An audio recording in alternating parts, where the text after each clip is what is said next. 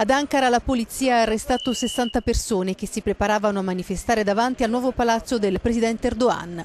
Il presidio era in memoria del quindicenne Berkin Elvan, morto il 12 marzo dello scorso anno, dopo nove mesi di coma, e diventato il simbolo della violenta repressione delle forze di sicurezza turche durante le proteste per il Parco Ghezzi nell'estate del 2013.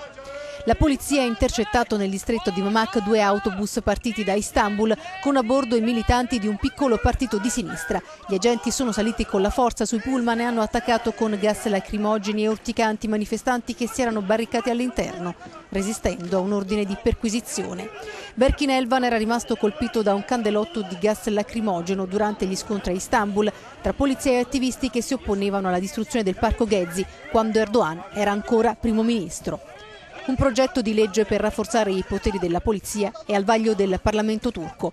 Un testo bollato già come liberticida dall'opposizione.